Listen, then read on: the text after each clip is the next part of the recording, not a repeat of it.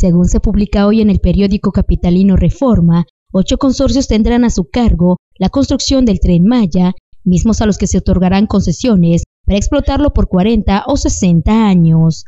Esto lo informó Rogelio Jiménez Pons, titular del Fondo Nacional de Fomento al Turismo y principal promotor de este proyecto.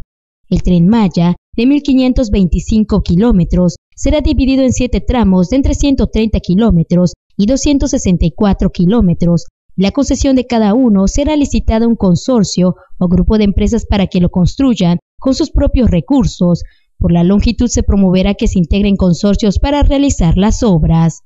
Tres tramos se ubicarán en el Golfo, dos en la selva y dos en el Caribe. A ello se suma la licitación del material rodante que se adjudicará a un octavo consorcio. Como incentivo, el gobierno les dará una subvención del 10% por cada tramo de obra terminado.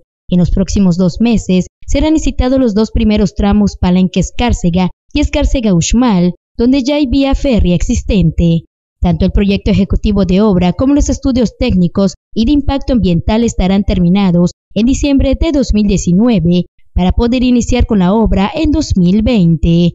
Notivisión.